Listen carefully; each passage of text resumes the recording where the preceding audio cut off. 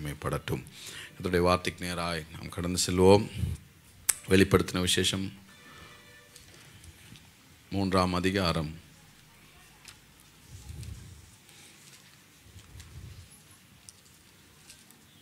இருபத்தி ஓராம் வசனம். வெளிப்படுத்தின விசேஷம் மூன்றாம் அதிகாரம் இருபத்து ஓராம் வசனம். Revelation chapter three verse twenty one வாசிக்க கவனிப்போம். நான் ஜெயம் கொண்டு நான் ஜெயம் கொண்டு என் பிதாவினுடைய சிங்காசனம் என் பிதாவினுடைய சிங்காசனத்திலே அவரோடே கூட உட்கார்ந்தது போல அவரோடே கூட உட்கார்ந்தது போல ஜெயம் கொள்கிறவன் எவனோ ஜெயம் கொள்ளுகிறவன் எவனோ அவனும் அவனும் என்னுடைய சிங்காசனத்தில் என்னுடைய சிங்காசனத்தில் என்னோடே கூட என்னோட கூட உட்காரும்படிக்கு உட்காரும்படிக்கு அருள் செய்வேன். அருள் செய்வேன். ஜெபிக்கலாம். அன்பின் ஆண்டவரே இந்த வார்த்தைகளை கொண்டு நீர் எங்களோடு கூட பேச வேண்டியவைகளை பேசி நீர் மகிமைப்படுவீராக. எங்களை தாழ்த்துகிறோம். உடைய வார்த்தையப்பா உடைய ஜனங்களப்பா நீர் பேசும். எங்கள் ஆண்டவரே உருவாக்க வேண்டிய இடங்களில் உருவாக்கும். எங்களோடு கூட இடைப்பட வேண்டிய இடத்துல இடைப்பட்டரலும் மறுபடியும் ஆண்டவரே நீர் ஆண்டவரே சபைக்கு நினைவுபடுத்த வேண்டியவர்களை நினைவுபடுத்தும்படி நாங்கள் ஜெபிக்கிறோம். இயேசுவின் நாமத்தில் பிதாவே. எல்லாமேன்னு சொல்லுவாமேன் ஹalleluya. ஹalleluya. எல்லாரும் சேர்ந்து வாசிக்க போகிறோம். வாசிக்கலாம். நான் ஜெயம் கொண்டு என் பிதாவினுடைய சிங்காசனத்தில் அவரோட கூட உட்கார்ந்தது போல ஜெயம் கொள்ளுகிறவன் எவனோ அவனும் என்னுடைய சிங்காசனத்தில் என்னோட கூட உட்காரும்படிக்கு அருள் செய்வேன். ஆண்டவராகிய இயேசு கிறிஸ்துவனுடைய வருகையை முதல் வருகையை கொண்டாடி கொண்டிருக்கிற இந்த நாட்களிலே நாம் அந்த ரெண்டாவது வருகையை குறித்த நினைவுகளை மறந்துவிடக்கூடாது. ஆமேன். சொல்கிறீங்களா as we celebrate the first coming of the Lord let us not forget the second coming of the Lord. நம்முடைய வாழ்க்கையின் ஆனந்த பாக்கியம் அவருடைய வருகை. ஹலலோயா நம்முடைய வாழ்க்கையினுடைய பரம நம்பிக்கை அந்த அந்த அவருடைய வருகை. ஆமேன் அதற்காக எதிர்பார்த்து காத்து கொண்டிருக்கிறவர்களாய் நாம் இருக்க வேண்டும். இந்த வெளிப்படுத்தின விசேஷம் அவருடைய வருகையில் நடக்கப் போகிற அடையாளங்களை தெளிவாக கிரமமாக திருஷ்டாந்தங்களோடு கூட நமக்கு சொல்லிக் கொடுக்கிறது. இந்த வெளிப்படத்தில் நிறைய விஷயங்கள் பார்க்கிறதுக்கு மறைமுகமாக தோன்றும். அது அப்போக்லிப்டிக் லாங்குவேஜ் என்று சொல்லுகிற அந்த ஃபார்மேட்டில் இருக்குது. ஒன்றை சொல்லி ஒன்றை புரிய வைக்கிறதற்கு. இதை இதனுடைய ஃபஸ்ட் ரீடர்ஸ் இதை முதல் முதல் பெற்றுக்கொண்டவர்களுக்கு தான் அதில் இருக்கிற எக்ஸாக்ட் மீனிங் தெரியும். அது எதை குறிக்கிறது என்பது. நிறைய ஊழியர்கள் எழும்பி இது இது ஆக்கும் அதாக்கும் அப்படின்னு சொல்லி நிறைய சொல்லிகிட்டே வராங்க. அவங்க டைம் டு டைம் நிறைய விஷயங்களை சொல்கிறாங்க முத அறநூற்றி அறுபத்தி ஆறுன்றது அது வந்து டிவி அப்படின்னாங்க. அப்புறம் அது டிவி எல்லாம் மாறி போய் அது வந்து கையிலேயே செல்ஃபோனாகவே வந்துருச்சு. அந்த அப்புறம் அந்த ஏடிஎம் கார்டு அப்படின்னாங்க. அப்புறம் டபிள்யூ டபிள்யூ டபிள்யூ இன்டர்நெட்டு அப்படின்னாங்க. இப்போ ஏடிஎம் கார்டெல்லாம் எங்கேயோ போயிட்டு எல்லாரும் இப்படி ஸ்கேன் பண்ண ஆரம்பிச்சிட்டோம். இப்படி பல விஷயங்களை ஆரம்பத்துல இருந்து சொல்லிக்கிட்டு ஒவ்வொரு நேரத்துக்கும் ஏற்ற மாதிரி அதுக்கு நிறைய அர்த்தங்களை கொடுத்துட்டு வராங்க. அதெல்லாம் ஒரு பக்கம் இருக்கட்டும். சிலருக்கு அதில் என்ன இருக்குது அப்படின்னு சொல்லி தங்களுடைய அறிவை வளர்த்து கொள்வதற்காக அதுக்கு பின்னாடி போகிறது நம்ம பார்க்குறோம். ஆனால் ஒன்றை புரிந்து கொள்ளுங்க. இந்த வெளிப்படுத்தின விசேஷம் நமக்கு கொடுக்கப்பட்டதனுடைய முதல் முக்கிய நோக்கம் ஒரு முழு நோக்கம் இயேசு சீக்கிரம் வருகிறார். அவர் வரப்போகிறார். அவர் நிச்சயம் வருவார். அதற்கு நம்மை ஆயத்தமாக்கி கொள்ள வேண்டும். கரங்களை உயர்த்தி ஆமேன். அதனால் அதனால தான் இந்த ஏழு திருச்சபைகளை தேவன் தெரிந்து கொண்டு இந்த ஏழு திருச்சபைகளுக்கான செய்தியை முதல்லையே கொடுத்து எங்கெல்லாம் சபை மனம் திரும்பி எங்கெல்லாம் சபை மாறி எங்கெல்லாம் சபை ஆயத்தமாக இருக்கணும் எங்கெல்லாம் சபை கவனமாக இருக்கணும் அப்படின்ற செய்தியை ஆண்டவர் இந்த ஏழு சபைகளுக்கு கொடுத்து அதை வெ- இந்த வெளிப்படுத்தின விசேஷத்தில் வைத்திருக்கிறார். இந்த வெளிப்படுத்தின விசேஷத்தில் மூணு விஷயங்கள் இந்த இந்த ஏழு சபைகளை குறித்த காரியத்தில் மூணு விஷயங்கள் இருக்கிறது. அன்றைக்கு உள்ள ஏழு சபைகளுக்கான செய்தி இது. It was the message for those churches இந்த ஏழு சபை இருக்கு இல்லையா? எபேசு சபை சிமர்னா சபை பெர்கமு சபை தியத்திரா சபை சர்தை சபை ஃபிலதெல்ஃபியா சபை மற்றும் லவதோக்கியா சபை. இந்த ஏழுமே துருக்கியில் இப்போவும் இருக்குது இந்த ஊர்கள்லாம். இந்த சபைகளில் அந்த நாட்களில் இந்த ஏழு சபைகளும் துருக்கி மாகாணத்தில் இருந்தது. இந்த ஏழு சபைகளிலுமே என்னென்ன பிரச்சனைகள் இருந்தது என்பதை எதை சரி செய்யணுன்றதை எதற்கு எப்படிப்பட்ட செய்திகள் கொடுக்கணுன்றதை ஆண்டவர் தெளிவாக யோவான் மூலமாக பேசுகிறார். ரெண்டாவது வேத ஆராய்ச்சியாளர்கள் சொல்லுகிறார்கள் இந்த ஏழு சபைகளுமே சபை திருச்சபையினுடைய ரெண்டாயிரம் ஆண்டு காலகட்டத்தை நீங்கள் எடுத்து பார்ப்பீர்களானால் இந்த ஏழு சபைகளுடைய அனுபவம் டைம் டு டைம் சபையில் இருந்திருக்கிறது. இந்த இந்த இந்த வேர்ல்டு சர்ச் அதாவது யுனிவர்சல் சர்ச் இந்த ஒட்டுமொத்த சபை அனுபவமே நீங்கள் பார்த்தீங்கன்னா ஏழு அனுபவங்களுக்குள்ளே வந்திருக்கிறது. முதல்ல ஆதியிலே சபை எருசலேம் சபை அந்தியோகியா சபையெல்லாம் என்ன செய்தது? வேகமாக தேவனுடைய அன்பிலே வளர்ந்தது. ஆனால் எபேசு சபையினுடைய அனுபவத்தை போல முதல் சபைக்கு கொஞ்ச நாளைக்கு ஒரு ஒரு நூறாம் நூற்றாண்டுக்குள்ளேயே என்ன ஆயிடுச்சு அப்படின்னா ஆதி சபை ஆதி அன்பை என்ன செய்து விட்டது? இழந்து விட்டது. அதுக்கு பிறகு அந்த நூறாம் ஆண்டில் இருந்து முந்நூற்றி இருபத்தி ஓராம் ஆண்டு வரைக்கும் அந்த இரநூறு இரநூத்தி இருபது ஆண்டுகள் சபை வந்து பெர் சிமிர்னா சபையை போல உபத்திரவத்துக்குள்ளே போனது. பத்து நாள் உபத்திரவப்படுவீர்கள் என்று ஆண்டவர் இங்கே சொல்லியிருப்பார். இந்த பத்து நாள் உபத்திரவம் என்பது பத்து ராஜாங்கள் வருகிறார்கள். பத்து ரோம பேரரசல் வரார்கள். இந்த ரோம பேரரசல் வந்து சபையை துன்பப்படுத்தினதுக்கு அளவே இல்லை. பயங்கரமான ரோம பேரரசர்கள் நிறைய எனக்கு நேரம் இல்லை அந்த லிஸ்டெல்லாம் சொல்கிறதுக்கு இந்த பத்து ராஜாக்கள் வந்தபோது ராஜாங்கங்கள் வந்தபோது பயங்கர உபத்திரவத்தை சபை அனுபவித்தது. அதுதான் இந்த சிமிர்னா சபையினுடைய அனுபவம் அந்த காலத்தில். இந்த முந்நூற்றி இருபத்தி ஒன்றில் என்ன நடக்குது அப்படின்னா கான்ஸ்டன்டைன் நோபல் என்கிற அரசன் வந்து அவன் ஆட்சிக்கு வரும்போது அவன் தோற்க வேண்டிய ஒரு யுத்தத்தில் அவன் அவனுக்கு ஒரு காட்சி தெரிகிறது ஒரு சிலுவை காட்சி தெரிகிறது. இதை கொண்டு வெற்றி பெறு என்கிற ஒரு சத்தம் கேட்கிறது. அப்போது அவனுக்கு இது கிறிஸ்தவனுடைய புனித சின்னம் தெரியாது. அவன் என்ன செய்கிறான் அந்த சிலுவையை தன்னுடைய வீரர்களுக்கெல்லாம் போர்வர்களுக்கெல்லாம் அவனுடைய கழுத்தில் மாட்டி அவனுடைய பட்டயங்களில் அந்த சிலுவையினுடைய உருவத்தை போட்டு அந்த யுத்தத்தை தோற்று விடுவோம் என்கிற யுத்தத்தை அவன் செய்து என்ன ஆயிட்டான் அப்படின்னா ஜெயிச்சிட்டான். அப்பொழுதுதான் அவன் இந்த கிறிஸ்தவர்களுடைய புனித சின்னமான சிலுவை. அப்போ என்னோடு கூட பேசினவர் இயேசுவானவர்னு சொல்லி அவன் இந்த தெய்வத்தை ஏற்றுக்கொள்கிறான். இந்த தெய்வத்தை ஏற்றுக்கொண்டு அதுவரைக்கும் குகைகளில் மலைகளில் ஆராதித்த ஜனங்களுக்கு என்ன கொடுக்குறான்? ஃப்ரீடம் கொடுக்குறான். ரிலீஜியஸ் ஃப்ரீடம் கிறிஸ்டியான் கிறிஸ்டியானிட்டிக்கு ஒரு ஃப்ரீடம் கிடைக்கிறது. அப்போ சபை என்ன செய்ய ஆரம்பிக்குது அப்படின்னா உள்ள எல்லாம் கட்டிடத்துக்குள்ளே வருது. பாஸ்டர்ஸ்க்கு ப்ர ப்ரீஸ்ட்டுகளுக்கு ஊழியக்காரங்களுக்கெல்லாம் பிஷப் இந்த மாதிரி பட்டங்கள்லாம் வருது. அவங்க கண்ட்ரோல் அவங்க கவர்மெண்ட்டை கண்ட்ரோல் பண்ணுற அளவுக்கு அவங்களுக்கு என்ன ஆயிருது அப்படின்னா நல்ல பதவிகள் கிடைக்குது. கிறிஸ்தவ மதத்தை ஏற்றுக்கொண்டவர்களுக்கு அரசாங்க வேலைகள் சலுகைகள்லாம் கிடைக்குது. ஸோ இந்த பெர்கமு சபையினுடைய அனுபவம் அப்பொழுது சபைக்கு வருகிறது. பெர்கமு என்றால் உயர்த்தப்பட்ட சபை. உயர்த்தப்பட்டு சபை உயர்த்தப்பட்டு நல்ல நிலைமைக்கு வருது. ஆனால் அதே நேரத்தில் பெர்கமு என்பதற்கு இன்னொரு அர்த்தமும் இருக்கிறது. மேரிங் டு த வேர்ல்டு உலகத்தோடு இசைந்து போகிற அப்படின்னு சொல்லி அர்த்தம். அப்போது என்ன நடக்கிறது? இதெல்லாம் வசதி வாய்ப்புகள் வந்த உடனே சபையெல்லாம் கட்டடத்தில் கூடி வர ஆரம்பிச்ச உடனே சொகுசு வந்துடுது ஆண்டவரை மறக்க ஆரம்பிக்கிறார்கள். சபைக்குள்ளே விக்கிரகங்கள் வந்துருச்சு. சபைக்குள்ளே வேசித்தன பாவம். உலகத்தின் பாவங்கள் எல்லாம் உள்ளே வர ஆரம்பிச்சிருச்சு. அந்த பெர்கமு சபையினுடைய அனுபவம் அப்படியே கண்டினியூ ஆக்கி கொண்டிருக்கிறது இந்த பெர்கமு சபைக்கு அப்புறம் சபையில் ஊழியக்காரர்கள் அதாவது கொஞ்ச நாளைக்கு நல்லா இருந்தாங்க அந்த பெர்கமு சபையினுடைய அனுபவத்தை போல் கொஞ்ச நாளைக்கு அப்புறம் போக போக போக ஒரு நானூறாம் நூற்றாண்டு ஐநூறாம் நூற்றாண்டெல்லாம் வர ஆரம்பித்த உடனே என்ன ஆயிடுச்சு அப்படின்னா ஊழியக்காரங்க கவர்மெண்ட்டை கண்ட்ரோல் பண்ண ராஜாக்களை கண்ட்ரோல் பண்ணுற அளவுக்கு போப் அத்தாரிட்டி அதுக்கப்புறம் இந்த பிஷப்பு அது இதுன்னு ஆர்ச் பிஷப் இதெல்லாம் இவங்கெல்லாம் வந்து இவர்கள் கடைசியில் என்னத்துக்கு கொண்டு போய் விட்டாங்க சபையை அப்படின்னா பாவ மன்னிப்பு சீட்டு. நீ பாவம் மன்னிக்கப்படணும்னா என்ன செஞ்சால் போதும்?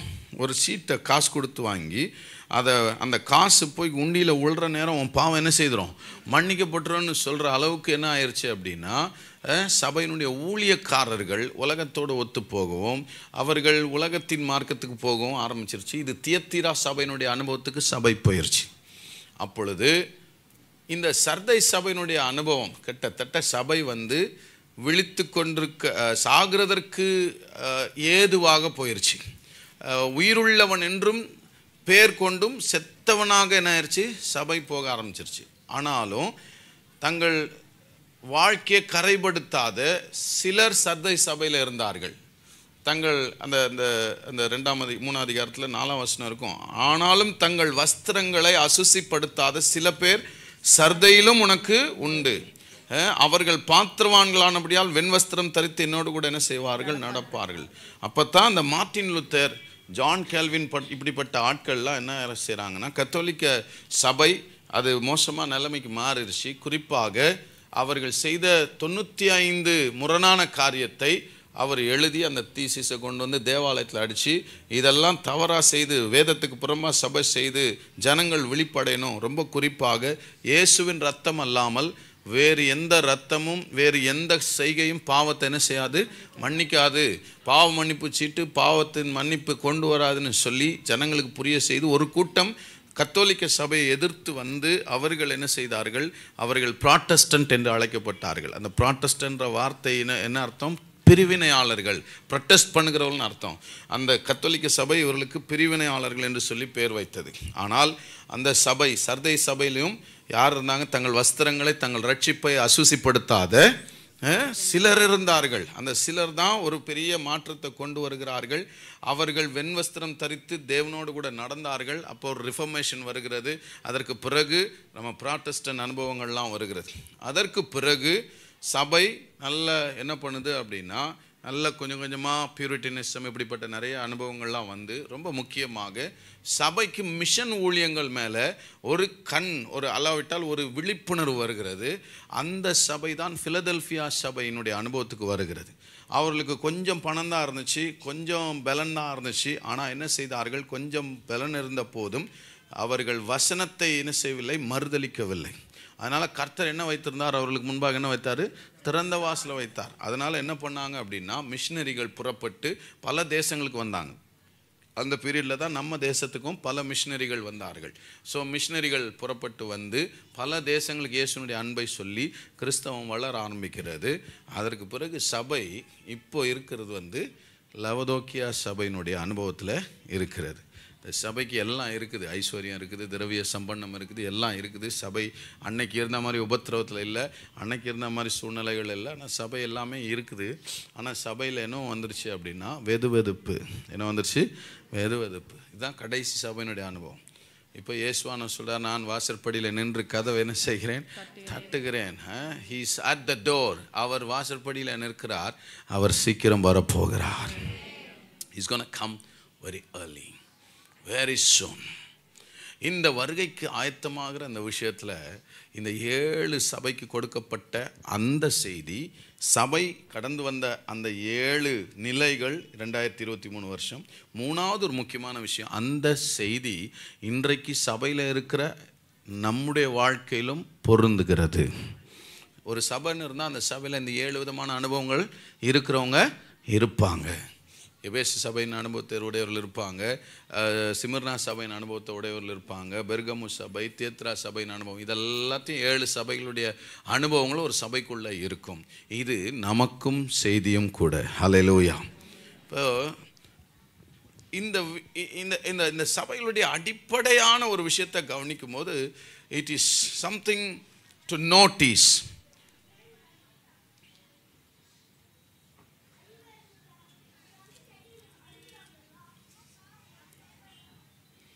a நல்லா கவனிச்சு பார்த்தீங்கன்னா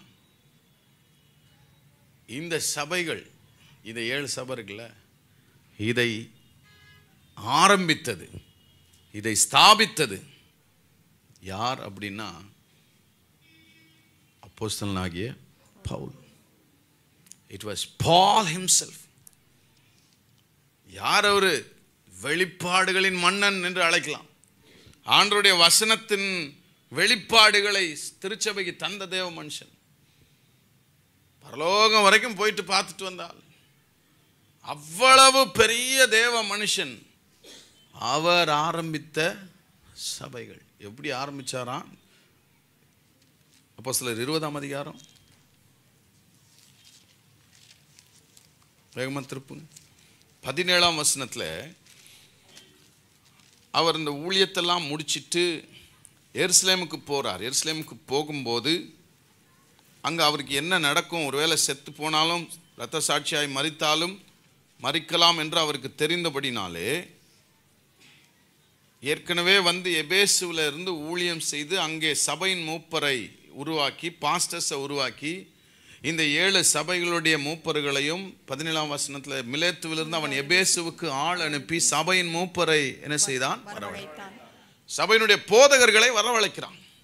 வரவழைத்து he was giving them an exhortation an encouragement and also a warning அவர்களை உற்சாகப்படுத்தி ரொம்ப கவனமாக எச்சரிக்கும்படியாகவும் சில வார்த்தைகளை சொல்லுகிற போது அதில் அவர் எப்படி இந்த சபையை ஸ்தாபித்தார் என்பது வெளிப்படுகிறது பாருங்க. அவர்கள் தன்னிடத்தில் வந்து சேர்ந்த பொழுது அவன் அவர்களை நோக்கி நான் ஆசியா நாட்டில் வந்த முதல் நாள் தொடங்கி எல்லா காலங்களிலும் உங்களுடனே இன்ன விதமாக இருந்தேன் என்பதை நீங்கள் என்ன செய்திருக்கிறீர்கள்? அறிந்திருக்கிறீர்கள்.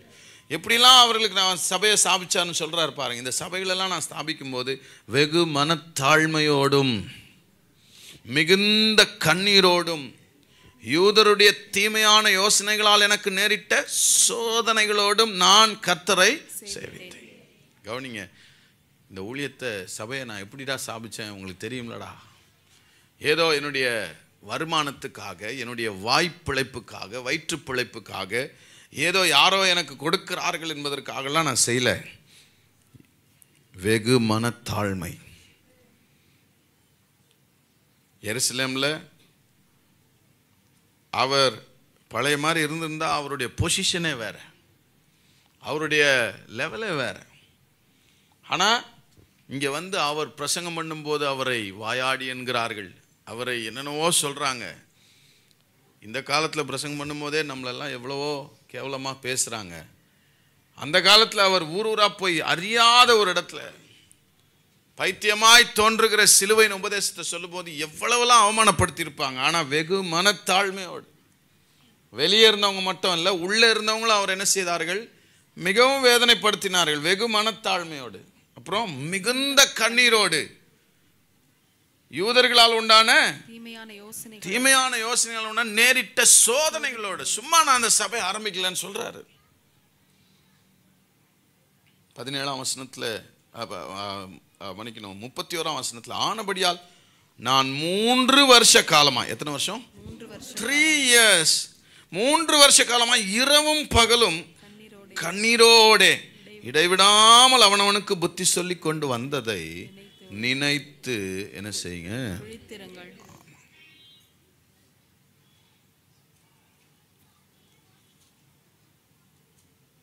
இந்த மாதிரி ஒரு சபைக்கு அவர் உட்காந்து மூணு வருஷம் ஸ்பெண்ட் பண்ணது வேற எங்கேயுமே கிடையாது. ரெண்டாவது பயணம் மிஷினரி பயணம் போகும்போது அந்த மிஷினரி பயணத்தில் தான் he spend about three years for these churches அதுவும் எப்படி? மறுபடியும் சொல்றாரு சும்மா நான் வந்து ஹாயா ஊழியம் பண்ணிட்டு போலடா. நான் மூன்று வருஷ காலமாக இரவும் பகலும் கண்ணீரோட இடைவிடாமல் அவனவனுக்கு நான் நினைக்கிறேன் பர்சனலாகவே ஒவ்வொருத்தனோட உட்காந்து சத்தியத்தை சொல்லி உபதேசத்தை சொல்லி ஒழுங்க சொல்லி இப்படித்தான் இருக்கணும் இதுதான் தேவ சித்தம் இதுதான் தேவ விருப்பம் இதுதான் தேவனுடைய வழி தேவன் இதெல்லாம் நேசிக்கிறார் இது அவருக்கு அருவருப்பு இது அவருக்கு பிரியமில்லை இது அவருக்கு பிடிக்காதுன்னு சொல்லி ஒவ்வொருத்தனுக்கும் மூணு வருஷமும் நான் என்ன செய்தேன்? ஆமாம் AD forty nine to fifty one கிறிஸ்து பிறந்த பிறகு நாற்பத்தி ஒன்பதாவது ஆண்டுலேருந்து ஐம்பத்தி ஓராம் ஆண்டுக்குள்ளே இந்த இடத்துல அவர் ரெண்டாவது மிஷினரி பயணத்தில் ஊழியம் செய்திருக்கலாம். ஸோ இன் எயிட்டிஸ் எண்பதுகளிலே இந்த எண்பதில் அந்த எண்பதுகளிலே முதல் நூற்றாண்டுடைய எண்பது வருஷங்களில் இந்த சபைக்கு போதகராக இந்த சபையினுடைய தலைமை போதகராக இருந்தவர் யார் அப்படின்னு பார்த்தா சரித்திரம் சொல்லுகிறது வேத சரித்திரம் சபை சரித்திரம் சொல்லுகிறது. இதுக்கு பாஸ்டராக இருந்தது இந்த ஏழு சபைகளுக்கு பாஸ்டராக இருந்தது யாருன்னா அப்போஸ் நாங்கிய யோவான். இயேசு கிறிஸ்தனுடைய மார்பிலே சாய்ந்து கொண்டிருந்த யோவான். இந்த வெளிப்படின விசேஷத்தை தேவனத்துலேருந்து பெற்ற யோவான். அதுக்கப்புறம் தான் அவரை பத்மு தீவுக்கு நாடு கடத்துகிறார்கள். அந்த தீவில் கொண்டு போய் அவரை வைக்கிறார்கள். ஸோ யோசிச்சு பார்த்தா top apostles top men of God இந்த சபைகளுக்கு ஆரம்ப காரணமாக இருந்தது இந்த சபைகளை ஸ்தாபித்தது இந்த சபைகளை போதித்ததெல்லாம் யாருன்னு பார்த்தீங்கன்னா அப்பஸ் நாகிய பவுல் அப்பஸ் நாகிய யோவான் போன்ற பெரிய பெரிய ஊழியக்காரர்கள். ராமேன் சொல்லாமா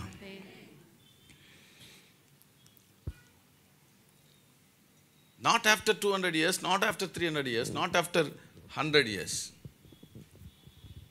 இரநூறு வருஷம் கழிச்சு இல்லை நூறு வருஷம் கழிச்சு இல்லை முந்நூறு வருஷம் கழிச்சு இல்லை வெறும் பத்து பதினஞ்சு வருஷம் கழிச்சு இவங்கெல்லாம் போதிச்சு இவங்க சபையை ஸ்தாபித்து நடத்தின ஜஸ்ட் பத்து பதினஞ்சு இருபது வருஷத்துக்குள்ள சபைக்குள்ள அப்படியே சபையோட நிலைமை ரொம்ப மோசமாக போயிடுச்சு சர்ச்சஸ் பிகேம் வேர்ஸ்ட் பாருங்க. ஏழு சபைகள். முதல் சபையில் என்ன அன்பு இல்லாமல் போயிடுச்சு ஆதி அன்பு இல்லாமல் போயிடுச்சு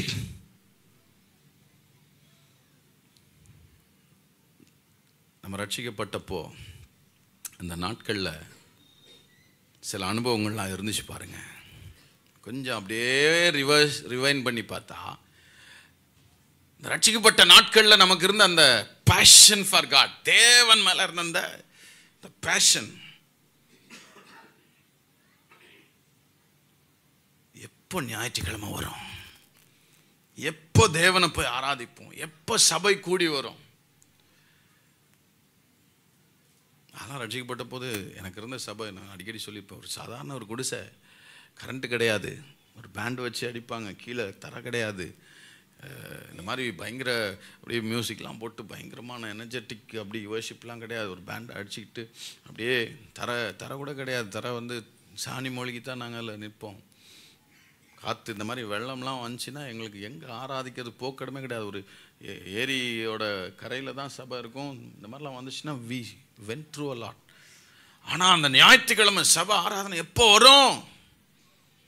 இன்னைக்கு நம்மளுக்கும் நிறைய பேருக்கு அந்த ஆரம்ப நாட்கள் அப்படி தான் இருந்துச்சு. சபையில் எப்போவாவது ஜெபம் வைக்க மாட்டாங்களா? ஏதாவது ப்ரேயர் வைக்க மாட்டாங்களா? ஏதாவது ப்ரேயர்ஸ் இருக்காதா? ஏங்கி ஏங்கி. சரி அங்கே இல்லைனாலும் பரவாயில்ல. எங்கேயாவது இருப்பாங்களா எங்கேயாவது நைட் ப்ரேயர் இருப்பாங்களா எங்கள் சர்ச்சில் நைட் ப்ரேயர் வைக்க முடியாது. கரண்ட் இல்லை. எங்கேயாவது நைட் ப்ரேயர் நைட் ப்ரேயரை தேடி திரிவோம்.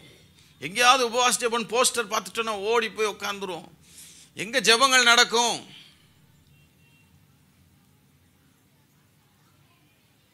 இப்போ அந்த நாற்பது நாள் ஜெபம் இருபத்தொரு நாள் ஜெபம்லாம் வச்சா புதுசாக வர்ற ஆட்கள் தான் உள்ளே அதிகமாக வர்றாங்க. பழைய ஆட்கள் என்ன செய்கிறாங்க எப்படா ஜெபம் அப்படின்னு இருந்ததெல்லாம் போய் சரி.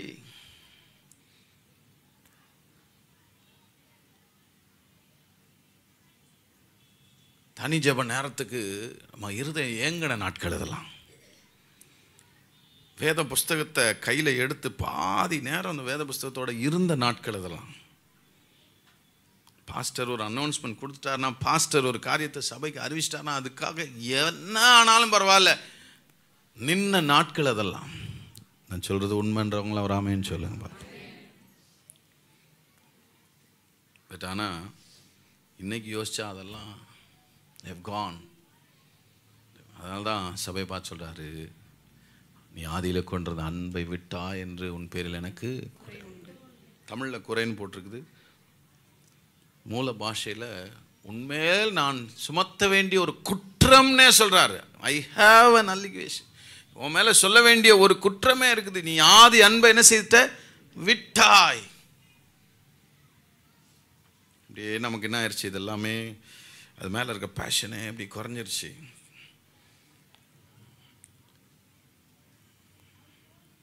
அடுத்த சபை அது பாடுகள் நடுவில் போகிற சபை. அதுக்கு அடுத்த சபை பெர்கமு சபை. சபைக்குள்ள என்னவே வந்துருச்சு?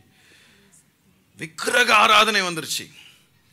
எதை விட்டுட்டு வந்தாங்களோ அது தொடர்ந்து உள்ள வருது. விக்கிரங்களை புசிக்கிறதற்கும் அதுக்கு பிறகு வேசித்தனம் பண்ணுங்கிறதுக்கும் ஏதுவான இடரல் சபைக்குள்ள வந்துருச்சு. இதை ஆண்டவர் எவ்வளவு வேதனையோட சபைக்கு பார்த்து சொல்றாரு பாருங்க. இப்போதான் ஒரு பத்து பதினஞ்சு வருஷத்துக்கு முன்னாடி அவ்வளோ வைராக்கியமாக நின்னவங்க. விக்கிரகத்து படைக்கப்பட்டவைகளை புசிக்க கூட கூடாது அப்படின்றதுல ரொம்ப தெளிவாக நின்னவங்க. அப்புறம் கொஞ்சம் கொஞ்சமாக சபைக்குள்ள பெருக்கமு சபைக்குள்ள உள்ள வந்துருச்சு. அந்த போதனைகள் வந்துருச்சு. எல்லாம் ஒன்றும் இல்லைன்னு வந்துருச்சு. இன்னைக்கு விசுவாசிகளுக்குள்ள நிறைய காரியங்கள் இந்த விக்கிரக ஆராதனை சம்மந்தப்பட்ட காரியங்கள் வந்துருச்சு. ஃபேஷன் ட்ரெண்டுன்ற பேரில் அந்த நாட்களில் நான் எனக்கு தெரியும் அந்த கையில் போடுற அந்த காப்பெல்லாம் மலைக்கு போயிட்டு வாங்கிட்டு வருவாங்க. சில அனுமன் கோயிலுக்கு போயிட்டு தான் வாங்கிட்டு வருவாங்க. அது போயிட்டு வாங்கிட்டு வந்து தான் கொடுப்பாங்க. இப்போ வந்து ஃபேஷன் ஆயிடுச்சு ஒரு பிள்ளையை பார்த்தது கையிலேருந்து உருவிட்டேன். நல்ல வேலை. அந்த பிள்ளை கொடுத்துருச்சு உடனே. தோத்துறோம் பேரண்ட்ஸுக்கு சந்தோஷம். சில பேரண்ட்டாக இருந்தால் என் பிள்ளைகிட்ட இருந்து எதுவும் வாங்கினா? திருப்பி கொடுப்பான். எல்லாம் இல்லை டிசைன் டிசைனாக வருது. அது எல்லாமே அந்த இது சம்மந்தப்பட்டது தான். நீங்கள் வாங்க நான் உங்களுக்கு காமிக்கிறேன். இல்லை நீங்களே போய் உட்காந்து தேடி பாருங்கள் பிள்ளைகள் கட்டுற அரைஞான் கயிறு.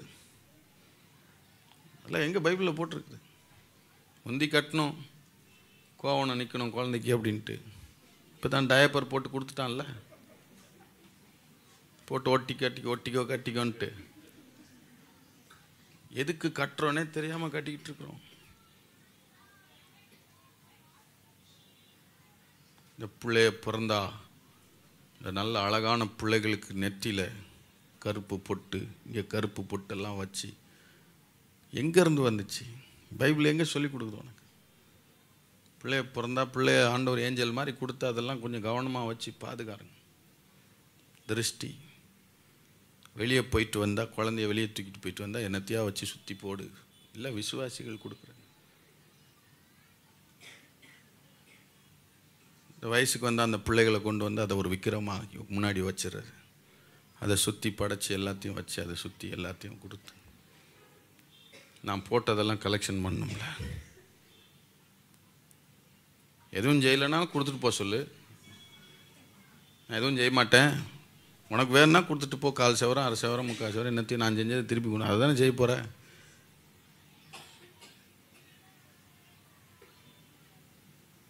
யூ மேக் லைக் சீமந்த நாட்களில் பாருங்கள் சீமந்தன்ற ஒன்றை வச்சுக்கிட்டு அந்த பிள்ளைய நடுவில் உட்கார வச்சுருவாங்க. வச்சுட்டு எல்லாம் வந்து சந்தனத்தை இந்த பக்கம் அந்த பக்கம். அதை விற்கிறதுக்கு தான் பண்ணுவாங்க. நீங்கள் போய் பாருங்கள் எல்லாம் அங்கேருந்து வந்தவங்க தெரியாது ஒன்றும் இல்லை. அது அந்த பிள்ளைகளுக்கு நல்லா தான் இருக்கும். நம்மளே வந்து நல்லா தடவி கொடுக்குறாங்க. நார் நாராக கிழிச்ச மாமனார் நாத்தனார் எல்லாம் வந்து நம்மளை என்ன செய்யுது? அது ஒரு சில பிள்ளைகள் சண்டை போடுதான். எனக்கு ஏன் செய்ய மாட்டேங்கிற? உன்னை விக்கிரகமாக்கி வச்சு அழகு பார்க்கறது உனக்கு சந்தோஷமா? பைபிள் எங்கே சொல்லுது? சில வீடுகளுக்கு அந்த கிரவுண்ட் பிரேக்கிங்க்கு போய் நிலத்தை இது பண்ணலான்னு போனான். திரும்பி வந்து பார்த்தா பக்கத்தில் அவன் பூஜை பொருள்லாம் வச்சுருக்கிறான். இது என்னதுன்னு கேட்டால் நம்ம இது செஞ்சுக்கிறோம் பாஸ்டர் அவன் இதை அவன் செஞ்சு கத்துறவனுக்கு கிருபையாக கொடுத்த வீடு இடம். அதில் வீட்டை கட்டுறதுக்கு பலனை கொடுத்துருக்கிறாரு. அதில் போய் கொண்டு வந்து அவன் செய்கிறானா அவன் எங்கேயா செஞ்சுட்டு வர சொல்லு அவன் ஆஃபீஸில் செஞ்சுட்டு வர சொல்லு அவன் வீட்டில் செஞ்சுட்டு வர சொல்லு. இங்கே இதெல்லாம் செய்யக்கூடாது.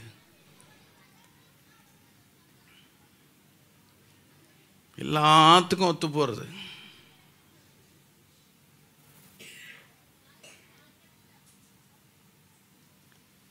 வேலைக்கு ஆட்கள் வைக்கிறீங்கன்னா தைரியமாக சொல்லுங்கள் சாரி சார் இது எனக்கு கத்தர் கொடுத்த இடம்.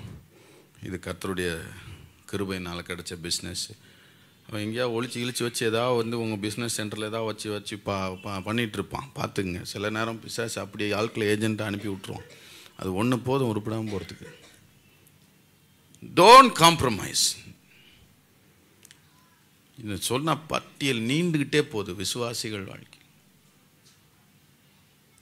ஸ்டீஃபன் பாஸ்டர் அவர் ஒரு சபையில் விசுவாசிகள் தான். இந்த பொண்ணு வயசுக்கு வந்ததுக்கு இதெல்லாம் பண்ணக்கூடாதுன்னு சொல்லிட்டு போனான் அவன் இவனை தாய் மாமா வந்தான் கூப்பிட்டான் எடுத்துகிட்டு போனான்னு சொல்லிட்டு அதெல்லாம் கொண்டு வந்து வச்சு அந்த தண்ணியை ஊற்றி அதெல்லாம் பண்ணிக்கிட்டு இருக்கும்போது சிபிஎம் விசுவாசி வந்து பார்த்து சொல்லுதான். சூரியனை பார்த்த மாதிரி பண்ண சொல்லு. சிபிஎம் விசுவாசி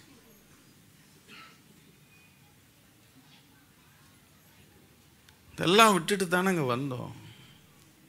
இதெல்லாம் அர்த்தமற்றதுன்னு தெரிஞ்சு தானே வந்தோம். இதெல்லாம் நமக்கு தேவையில்லைன்னு தெரிஞ்சு தானே வந்தோம். என் பிள்ளைகளுக்கு பாதுகாப்பு திருஷ்டி பொட்டுள்ள கர்த்தர்.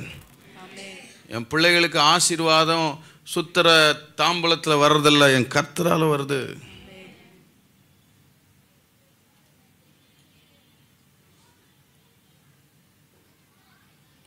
நல்ல நாள் கெட்ட நாள். நல்ல நாளை பார்த்து திருமணங்களை ஒழுங்கு செய்கிறது முகூர்த்த நாளை பார்த்து திருமணம். எல்லாம் கிறிஸ்தவங்க பண்ணுறது தான் நல்ல நேரம். அது நேரம் போயிடுச்சுன்னா எல்லாம் அவங்க அறியாதவங்க செய்யிட்டு போட்டோம் சார். அறியாத காலங்களில் தேவன் கண்டும் காணாதவராக இருக்கிறார் அறியாத காலத்தில் செஞ்சிட்டோம். அறிஞ்சிருக்கிறோம்னா கவனமாக இருந்து விற்கிறவங்களுக்கு எதிர்த்து நிற்கணும். கையில் வேத்தி சொல்லுங்கள் இப்படியோ வந்துடுது உள்ள உள்ள வந்துடுது உள்ளே வந்துடுது வேசித்தனம் பாவம் உள்ளே வந்துருச்சு. பெருகமு சபையில் வேசித்தனம். அடல்ட்ரியஸ் கமின் சபைக்கு சபை ஆரம்பிச்சது யார்? பால். சபைக்கு பாஸ்டராக இருந்தது யார்? யோவான். இந்த சபைக்குள்ளே வேசித்தன பாவங்கள் பாருங்கள் கவனமாக இருக்கணும். சில ஆண்களுக்கு அவன் ஒய்ஃப் கிட்ட பேசுகிறத விட மற்ற பெண்கள்கிட்ட பேசுகிறதுக்கு தான் என்ன இருக்குதுன்னா நேரம் இருக்குது. அட்ராக்ஷன் இருக்குது. அது வரும். அந்த மாதிரி அட்ராக்ஷன் வரும்போதே நான் எதுக்கு அவளுக்கு ஃபோன் பண்ணுறேன் என்ன காரணம்? ஏதாவது நோக்கம் இருந்தால் அவங்களுக்கு ஃபோன் பண்ணிவிட்டு அதோட நிறுத்தணும். மனசு அப்படியே ஒரு மாதிரி அதில் ஒரு அட்ராக்ஷன் வருது அப்படின்னா செல்ஃபோனை கொஞ்சம் வைப்ரேஷனில் போடுங்க அட்ராக்ஷன் வருதுன்னா கேர்ஃபுல்லாக இருக்கணும். ஏதோ சம்திங் ராங் இது அது ஒரு ஆள் மேலே ஒரு எதிர்ப்பாளர் மேலே மனைவியை தவிர கணவனை தவிர ஒரு ஒரு விதமான அட்ராக்ஷன் வருதுன்னா கவனமாக இருந்து ஜோம் பண்ணி சரி செய்துக்கணும். தேவைப்பட்டால் போய் தேவைப்பட்டால் இல்லை எனக்கு தெரிஞ்ச அப்படிலாம் அதிகமாக வருது ஒரு ஒரு ஒரு அட்ராக்ஷன் வருதுன்னா போய் உபவாசம் பண்ணி சரி செய்துக்கணும். கைவேத்தி ஆமேன்னு சொல்லுங்கள் நல்லா தின்னுட்டு போயெல்லாம் அதெல்லாம் நடக்காது. மனம் திரும்புதலுக்கும் உபவாசத்துக்கும் சம்மந்தம் இருக்குது. சில பெண்களுக்கு சில ஆண்கள் கணவனை தவிர வேற ஆண்கள்கிட்ட பேசுறதுக்கு தான் இழுப்பும். சபையில் நான் சபையில் சொல்லிட்டு இருக்கிறேன் இந்த பாழா போன செல்ஃபோன் வந்ததுலேருந்து இந்த செல்ஃபோனை இதை இதை நம்ம அதிகாரத்தில் வைக்காமல் அதோட அதிகாரத்துக்கு கீழே போயிட்டோம் பாருங்கள் அது அதுவே பெரிய வேசித்தனம் பாவம் அது. சபைகளில் தான் இப்படிலாம் நடக்குது. கவனமாக இருக்கணும். உன் மனைவி இல்லாமல் வேற வேற ஆள் வேற ஆள்கிட்ட பேசுறது உனக்கு ரொம்ப சந்தோஷமாக இருக்குதா? கேர்ஃபுல் உன் கணவன் இல்லாமல் வேற ஆள்கிட்ட பேசுறது உனக்கு ரொம்ப சந்தோஷமாக இருக்குதா? அதுதான் அங்கே தான் ஆரம்பிக்கும் வீழ்ச்சி. அதுதான் வேசித்தனம். அப்புறம் மற்றதெல்லாம் அப்புறம். மற்றதெல்லாம் அப்புறம்.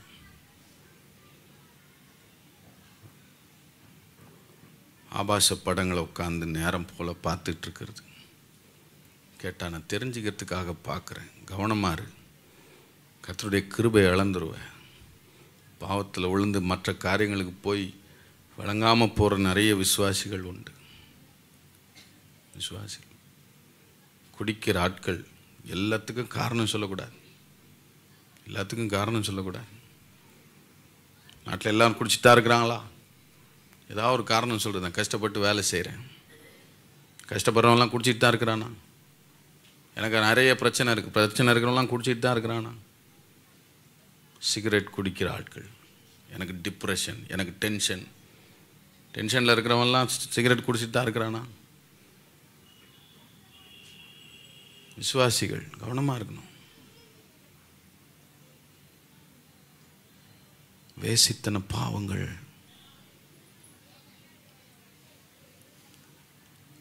அனாவசியமான ஆட்கள் அனாவசியமாக மெசேஜ் அனுப்புகிறான்னா பிளாக் பண்ணணும். பிளாக் பண்ண கற்றுக்கணும் தைரியம் இருக்கணும். அவன் எவனாக இருந்தாலும் சரி அவன் எவ்வளோ இருந்தாலும் சரி பிளாக் பண்ணி போட்டு போயிட்டே அவனால் ஒன்றும் ஆகாது. ரெண்டு கண்ணு உடையவனா பண்ணி நரகத்துக்கு போகிறத விட ஒற்றை கண்ணுனா பரலோகத்துக்கு வரலாம். இந்த மாதிரி ஆட்களோட கூட்டையே வச்சு அதை அதை கண்டினியூ பண்ணி நீ பாவத்துலேயும் வேசித்தனத்துலேயும் விளறத விட அந்த மாதிரி ஆட்களை பிளாக் பண்ணிவிட்டு என்ன வந்தாலும் நீ சந்திச்சுக்கலாம். வேசித்தன பாவங்கள். These were not the churches that been planted or taught by just ordinary pastors They were just founded, established, and were taught by so-called great apostles like Paul and like John. இந்த சபைகளெல்லாம் பெரிய பெரிய அப்போஸ்தலர்களாலே ஆரம்பிக்கப்பட்டு பெரிய பெரிய ஊழியர்களாலே போதிக்கப்பட்ட சபைகள். It's not about the pastor it's not about the church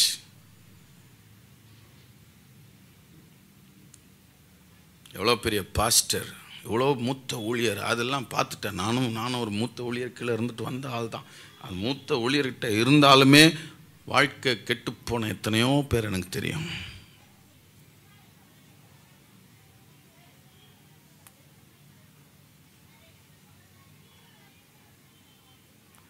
கவனமாக இருக்கணும். எல்லாம் ஆரம்பத்தில் நல்லா தான் இருக்கிற மாதிரி இருக்கும். சபைக்குள்ளே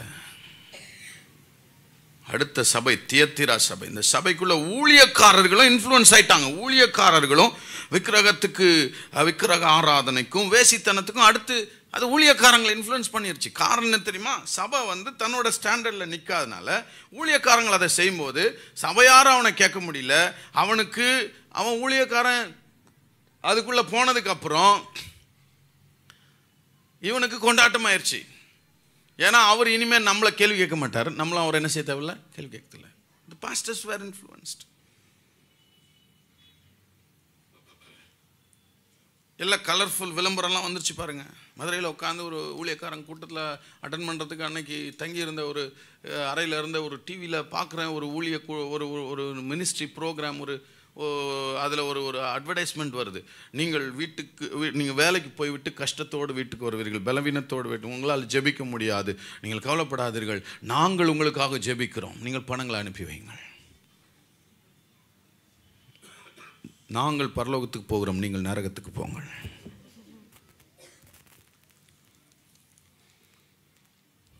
உங்கள் பிள்ளைகளுக்காக நாங்கள் ஜெபிக்கிறோம் இந்த திட்டத்தில் சேருங்க நல்லா இருக்கும். உன் பிள்ளைக்காக நீ ஜோம் பண்ணாமல் வேற எவனும் ஜோம் பண்ண மாட்டான்.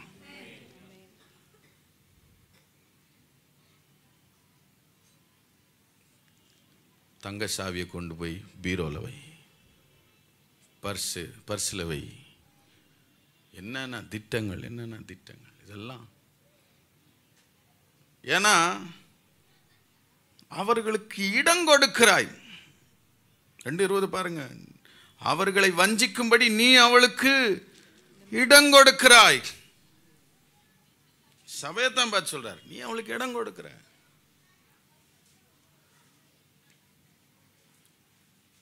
ஆறுதலான பிரசங்கங்களை தான் தேடுறோம். நம்ம ஏன்னா இடம் கொடுக்குறோம். அதனால யூடியூப்ல பேசுறவங்க ஆறுதலாவே பேசிட்டு இருக்கிறான். போய் பாருங்கள் அந்த ஊழியர்கள் தான் பிரசங்கத்துக்கு அந்த ஊழியர்களுடைய பிரசங்கத்துக்கு தான் வியூஸ் அதிகமாக இருக்கும். அவங்களுக்கு தான் சப்ஸ்கிரை சப்ஸ்கிரைபர்ஸ் அதிகமாக இருக்கும். அவங்களுக்கு தான் ஆட்கள் கூட இருப்பாங்க. ஏன்னா எல்லா நேரமும் அவர்களுக்கு அவனுக்கு தெரியும் எதை பேசுனா என்ன சப்ஜெக்டை பேசுனா ஜனங்க வியூ போவோம் தெரியும். இந்த இப்போ கொஞ்சம் சமீபமாக யூடியூப் கண்டென்ட் போடுறதுக்கு கேவலமான ஆட்கள்லாம் எழுமிருச்சு கிறிஸ்தவர்களை சொல்ல. எல்லாம் டபுள் மீனிங்கில் பேசுறது.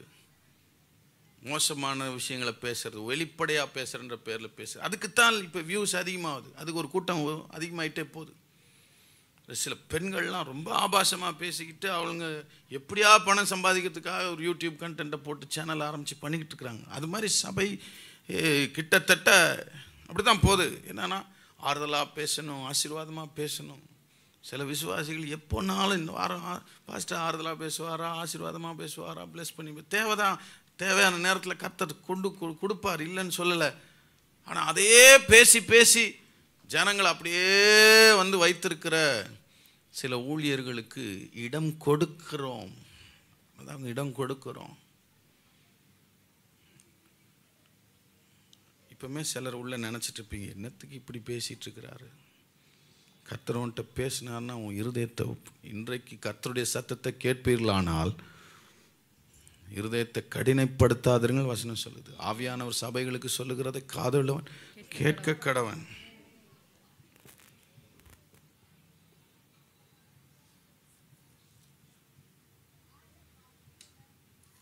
சர்தை சபை ஆண்டவர் சொல்றாரு மூணு ஒண்ணுல உன் கிரியைகளை அறிந்திருக்கிறேன். நீ உயிருள்ளவன் என்று பெயர் கொண்டிருந்தும் யாராக இருக்கிற?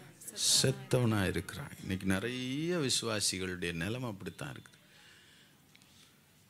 பேர் தான் கிறிஸ்தவன். ஆனால் அவருடைய வாழ்க்கை முறைக்கும் அதுக்கும் என்னவே இல்லை சம்மந்தமே இல்லை. சி ஒருத்தனை பார்த்து உலகம் கிறிஸ்தவன் சொல்லுதுன்னா லிசன் அதனுடைய அர்த்தம் என்ன தெரியுமா? கிறிஸ்து அவன். கிறிஸ்தவள் அப்படின்னு சொன்னா கிறிஸ்து அவள். அப்படின்னா என்ன? அவனுக்குள்ளே கிறிஸ்து இருக்கிறார். அவளுக்குள்ளே கிறிஸ்து இருக்கிறான். அந்த சாயல் அதனால தான் அந்தியோகியால முதல் முதலில் கிறிஸ்தவர்கள் என்று சொன்னார்கள். அவன் லைஃபை பார்த்தான். பைபிளை தூக்கிட்டு போகிறது மாத்தல பைபிளை தூக்கிட்டு போகிறத பார்த்து அவன் பேர் வைக்கல. சபைக்கு போகிறத பார்த்து பேர் வைக்கல. லைஃப் கிறிஸ்தவன்.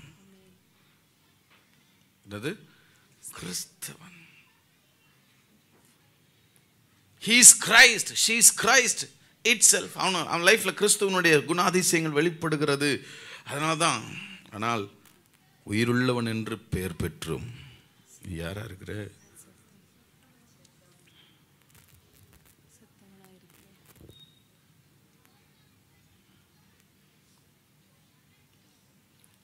பாருங்க அடுத்த சபை வந்து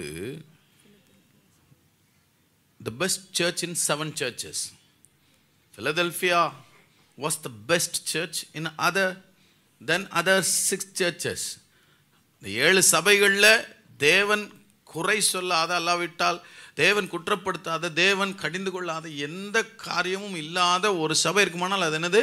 ஃபிலதெல்ஃபியா சபை. ஆனால் பதினோராம் வசனத்தை நீங்கள் கவனித்து பார்த்தீர்களானால் இதோ சீக்கிரமாய் வருகிறேன். ஒருவனும் உன் கிரீடத்தை எடுத்துக்கொள்ளாதபடிக்கு உனக்குள்ளதை பற்றி கொண்டு பாருங்க அந்த சபைக்கு முன்னாடி எச்சரிப்பு கொடுக்குறாரு. நீ கரெக்டாக இருக்கிறேன்னு சாட்டிஸ்ஃபை ஆயிராத நீ கரெக்டாக இருக்கிறேன்னு சொல்லி அப்படியே விட்டுறாத. கவனமாக இருந்துரு. ஏன்னா நீ எப்போ வேணால் உன் கிரீடத்தை என்ன செய்ய வேண்டியது இருக்கும்? விளக்கு. அந்த விஷயத்தை அதை சொல்லணும். ஆனால் ஆறு ஏழு சர்ச்லையுமே பிரச்சனை என்ன தெரியுமா? ஏழு சபையிலுமே என்ன பிரச்சனை தெரியுமா? இது ஒன்று தான் பிரச்சனை. அடிப்படை பிரச்சனை என்ன தெரியுமா? ஆண்டவர் எல்லா சபையிலும் பார்த்து சொல்லுவார் உன் கிரியைகளை அறிந்திருக்கிறேன் உன் பொறுமையை அறிந்திருக்கிறேன் உன் சகிப்பை நான் அறிந்திருக்கிறேன் உன் பிரயாசத்தை நான் எல்லா சபைக்குமே சொல்லிகிட்டே இருப்பார் உன் கிரியைகளை அறிந்திருக்கிறேன். I know your deeds I know your ministries உன் ஊழியம் எனக்கு தெரியும் உன்னுடைய பொறுமை எனக்கு தெரியும் நீ எவ்வளோ பிரயாசப்படுறன்னு தெரியும் நீ எவ்வளோ பாடுபடுற எல்லாமே தெரியும். இது எல்லாமே எல்லா சபையில் விசுவாசிகளுக்கு என்னன்னா நான் நான் வந்து இவ்வளோ தூரம் நான் ஆண்டவருக்கு பரிசுத்தமாக இருக்கிறதே பெரிய விஷயம். நான் இவ்வளோ தூரம் பொறுமையாக இருக்கிறதே பெரிய விஷயம். நான் இவ்வளோ தூரம் சகிச்சுக்கிறதே பெரிய விஷயம். நான் இவ்வளோ தூரம் ஆண்டவருக்காக பிரயாசப்படுறதே பெரிய விஷயம். நான் இவ்வளோ தூரம் அப்படின்னு நாம் வந்த ஒரு ஸ்டாண்டர்டுக்கு நாம் வந்த ஒரு நிலைமைக்கு அங்கேயே நின்றுட்டோம் பாருங்கள் அதை தான் ஆண்டவர் சரி அது வரைக்கும் நீ வந்தேன்னு அப்ரிஷியேட் பண்ணிட்டு ஒவ்வொரு இடத்துலையும் ஆண்டவர் திரும்ப திரும்ப சொல்கிறாரு ஆகிலும் ஆனாலும் ஆனாலும் ஆகிலும் ஆகிலும் உன் பேரில் எனக்கு குறை உண்டு. ஆனாலும் விக்கிரகங்களுக்கு படைக்கப்பட்டவைகளை போசி புசிக்கிற விஷயத்தில் உனக்கு குறை உன் பேரில் குறை உண்டு. ஆகிலும் ஆகிலும் ஆகிலும். இந்த கடைசி நாட்கள் வருஷத்தின் கடைசி நாட்களில் இருக்கிறோம். கொஞ்சம் தயவு செய்து நான் எங்கே நின்றுட்டேன் அடுத்த ஒரு லெவலுக்கு நான் போகாமல் அடுத்து தேவன் விரும்புகிற பரிசுத்தத்துக்கு நான் போகாமல் நான் இது வரைக்கும் செய்தது போதும். ஏதோ ஒரு ஏரியாவில் நான் கரெக்டாக இருந்துட்டேன். நான் கிவிங்கில் நல்லா இருக்கிறேன். ஆனால் இந்த ஏரியாவில் நான் கொஞ்சம் போராக இருக்கிறேன். நான் சர்ச்சுக்கு வர்றதில் கரெக்டாக இருக்கிறேன். ஆனால் இந்த விஷயத்தில் நான் இன்னும் சரி செய்யலை. நான் பாஸ்டர்ஸுக்கு கொடுக்க வேண்டிய அந்த மரியாதை அந்த கணத்தை அதில் கொடுக்கறதுல நான் கரெக்டாக இருக்கிறேன். ஆனால் இந்த விஷயத்தில் சி ஃபைன் தம் அவுட் அதெல்லாம் கண்டுபிடிச்சி ஆண்டவருடைய சமத்தில் உட்காந்து ஆண்டவர் இன்னும் ஆகிலும் இன்னும் உன் பேரில் எனக்கு ஒரு குறை உண்டுன்னு சொல்கிறத நம்மை நாமே வாழ்க்கை ஆராய்ஞ்சு பார்த்து நம்ம சரி செய்து மனம் திரும்ப வேண்டும் கிரங்களவே வைத்து சொல்கிறீங்களா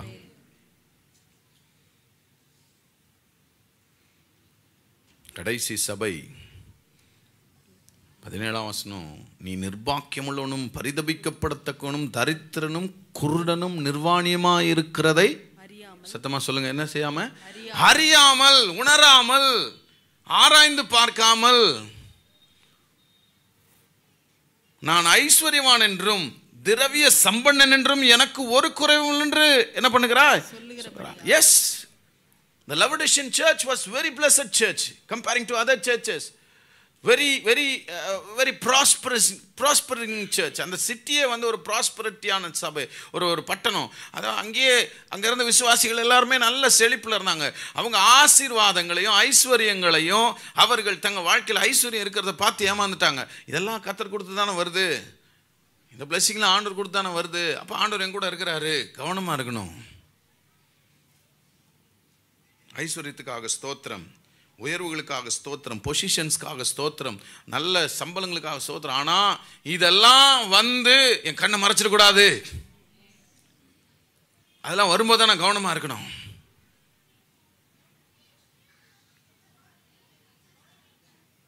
நிறைய விசுவாசிகள் அதெல்லாம் வந்த உடனே அவங்க கண்கள் மறைக்கப்பட்டு அவங்க என்ன ஆயிடுறாங்க அப்படின்னா நாம் எது செஞ்சாலும் கத்தர் ஆசீர்வதிக்கிறார் அப்போ கத்தர் நம்ம கூட தான் இருக்கிறாரு. இல்லை ஆண்டவர் சொல்கிறாரு நீ நிர்பாக்கியம் உள்ளவன் பரிதவிக்கப்படத்தக்கவன் தரித்திரன் ஆவிக்குரிய வாழ்க்கையில் நீ குருடனாக இருக்கிறாய் ஆவிக்குரிய ரட்சிப்பின் வஸ்திரத்தை இழந்து நீ நிர்வாணியாக இருக்கிறத என்ன செய்யல? அறியலை.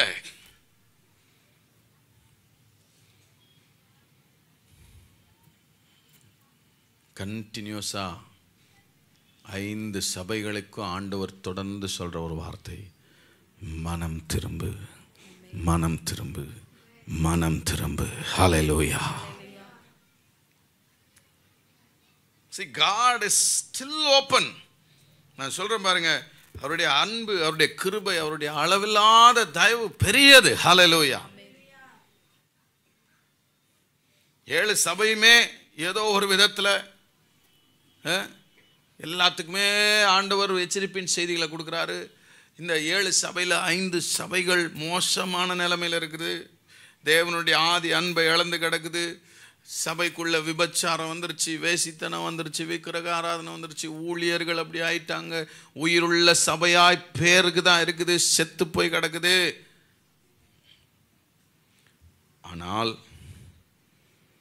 ஆண்டவர் முதல் அதிகாரத்தில் தன்னுடைய வெளிப்பாட்டை ஆண்டவர் யோவானுக்கு கொடுக்கும்போது அந்த ஏழு குத்து விளக்குகளின் மத்தியிலே நிலையங்கி தரித்து மார்பருகே பொற்கச்சை கட்டியிருந்த மனுஷகுமாரனுக்கு ஒப்பானவரை கண்டேன்.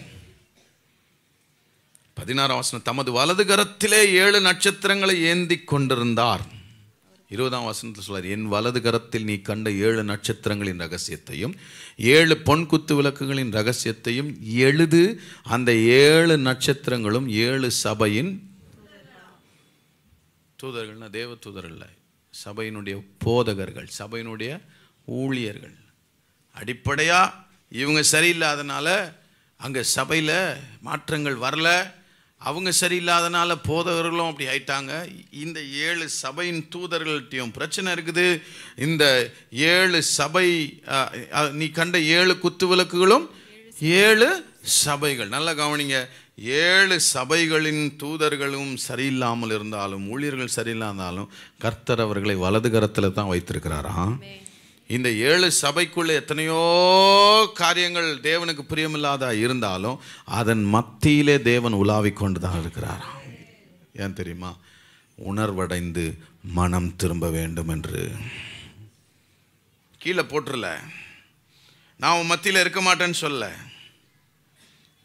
மனுஷன் பாவம் செய்யும்போது ஆவியானவர் அவனை விட்டு விலகுகிறதில்லை. இந்த நாட்களுக்கு அவர் உள்ளேயே இருந்து இன்ஸ்டட் துக்கப்படுகிறாராம். மீட்கப்படும் நாளுக்கென்று முத்திரையாக பெற்ற பரிசுத்த ஆவி என்ன செய்யாதீர்கள்? துக்கப்படுத்தாதீர்கள். அவர் ஒரு பாவம் செஞ்சோன்னா நம்மளை விட்டு விலகி போயிடுறதில்ல. அவர் உள்ளே இருக்கிறாரு. ஏன் தெரியுமா? அவர் உள்ளே இருந்தால் தான் நமக்கு உணர்வு வரும். அவர் போயிட்டார்னா உணர்வு வராது. அப்புறம் அவர் போயிட்டாருன்னா முடிஞ்சிருச்சுன்னு அர்த்தம். You are you are appointed for hell finished நரகத்துக்கு போகிற அளவுக்கு போயிட்டாச்சுன்னு அர்த்தம். ஆனால் ஆவியானவர் உள்ளே இருக்கிறார். அவர் இல்லைன்னா மனம் திரும்புதல் வராது. அவர் இல்லைன்னா அந்த அந்த உணர்வு வராது. அந்த பா உணர்வை கொடுக்கறதுக்காக இருக்கிறார். ஆனால் அவர் ஒவ்வொரு முறையும் என்ன செய்கிறார்? துக்கப்படுகிறார். சரியில்லைன்னு ஆண்டவர் தூதர்களை உதறி போடவும் இல்லை. சபைகள் மத்தியில் நான் இருக்க மாட்டேன்னு விலகி போகவும் இல்லை. இருபத்தி ஓராம் வசனம் ரெண்டு இருபத்தி ஒன்றில் ஆண்டவர் தியத்திரா சபைக்கு சொல்கிறார் அவர் மனம் திரும்பும்படியாக அவளுக்கு என்ன கொடுத்தேன்? தவணை கொடுத்தேன். Waiting I'm giving more opportunities எவ்வளோ வாய்ப்பு கொடுத்துக்கிட்டே இருக்கிறார் ஆண்டவர் உனக்கு. இவ்வளோ வாய்ப்பு கொடுத்துட்டே இருக்கிறாரு. சில எச்சரிப்புகள் ஆண்டவர் கொடுக்குறாரு. தண்ணி வராமல் போச்சா? வராமல் போச்சு. சோத்திரம். ஆமாம் வந்திருந்தா என்ன ஆயிருக்கும்? என்னென்னவோ ஆயிருக்கும். சரி ரைட்டு ஆண்டவரே தோத்திரம். நீர் எனக்கு ஏதோ ஒரு தண்ணி வந்துருச்சா? சரி பரவாயில்ல. ஆண்டவரே not necessary it has to be a big thing ஒரு பெரிய விஷயமா இல்லாமல் இருக்கலாம். சின்ன விஷயம்.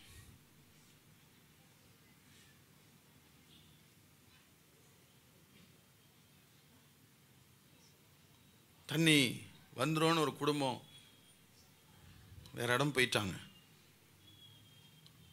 அவங்களுக்கு அந்த புதுசாக வாங்கின சோஃபா அது ஒரு அது மேலே ரொம்ப அது மேலே ரொம்ப அப்படி உயிர் அப்படி புதுசாக வாங்கின சோஃபா கிஃப்டாக வந்துச்சு அது. அப்போது உட்காந்து மனசெல்லாம் அந்த சோஃபா பாலாயிருமே பாலாயிருமே பாலாயிருமே அப்படின்னு. அப்போ ஆவியானவர் உணர்த்திருக்கிறாரு அப்போ அவங்க சொல்லியிருக்காங்க ஆண்டவரே அது மேலே ரொம்ப நாங்கள் என்னத்தை வச்சிட்டோம்? ரொம்ப ஒரு இதை வச்சிட்டோம். அது ரொம்ப ஒரு பெருமையாக மாறிடுச்சு. எங்களை மன்னிச்சிருங்க ஆண்டவரே அது பரவாயில்ல தோத்துறோம் அடுத்த நாள் போய் பார்த்தா தண்ணி கரெக்டாக வாசல் வரையும் தான் வந்திருக்குது. அது ஒரு பொருளும் சேதமாகல.